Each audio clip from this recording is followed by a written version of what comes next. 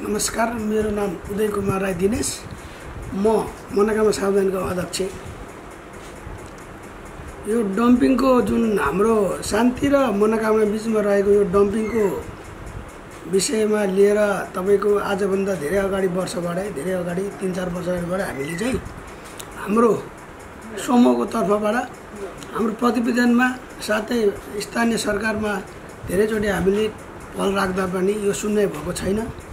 र तपाईँको यो यो जुन हाम्रो हाइवेबाट करिबन यो महेन्द्र हाइवेबाट करिबन तपाईँको दुई अढाई दुई अढाई सय मिटर मासतिर होला। यो तपाईँको एउटा हाम्रो जङ्गलको बिचमा छ।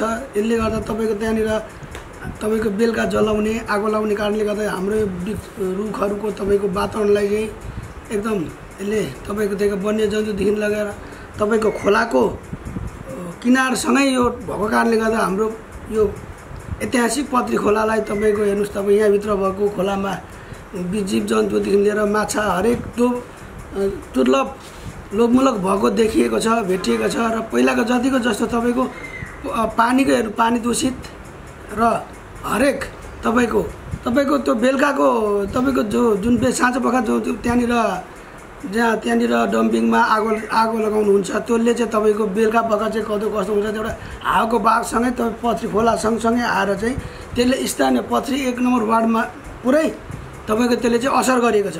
पटक पटक स्थानीयवासीले पनि यसको आवाज उठाएको छ। पहल गरेको छ र पनि स्थानीय सरकारले यो सुन्नुभएको छैन।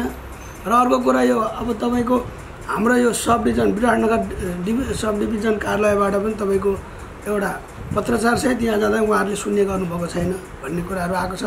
यो चाहिँ अब जहाँसम्म लाग्दा यो तपाईँको एकदम राम्रो काम चाहिँ यो गलत काम भइरहेछ।